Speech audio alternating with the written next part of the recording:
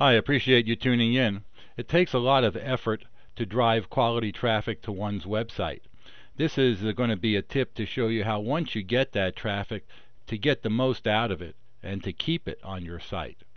Uh, now here this is a, um, a gold uh, nugget site and we're on an inside page. If you look up over here at the URL uh, you'll see it's an inside page. Here's the backslash.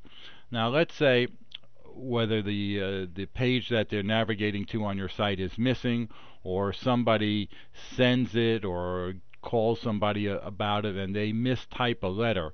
So let's take out the M from miner here now in this uh, in this URL and then see what happens when we click the forward button.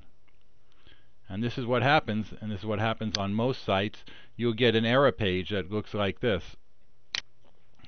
And basically it says that that page couldn't be found and they give you a search box and you can type in. Now this is a search box from Google, so the server hosting company is making money on this. These people are uh, ethical enough to put a, uh, a note here that any money that they do make from it goes to charity. That's nice, but there are a lot of other uh, servers who keep this money and actually uh, in a more uh, deceptive way know if they're hosting let's say a bunch of law sites or a bunch of real estate sites put ads here for other law sites or real estate sites so should they get this error page it'll actually give them some of your competitor sites to go to and you would lose that potential client forever so this is something you want to change on your site right away. Now let's take a look at our main SEO site which is right here. This is an inside, this is a page on, on the site and let's say we went inside to look at one of our um, uh, well this is an inside page excuse me this is our where we talk about our SEO videos that you can view uh, so if you go up over here you'll see the URL here's the backslash and that's the uh, name of the page. Well, on this page, let's do similar thing. Let's take out the uh, the I in video and then uh, tell it to go forward.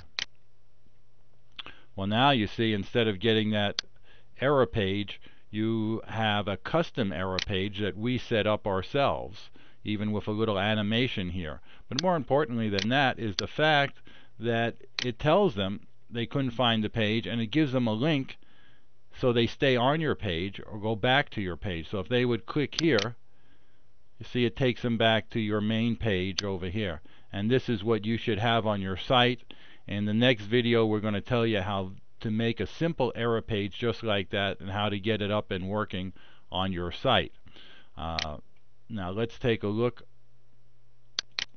on the real estate site here here's the real estate site. Let's say we go to the search the MLS and some error comes up here or again somebody calls somebody and says they found something on here. They gives them give them the address and they mistype it.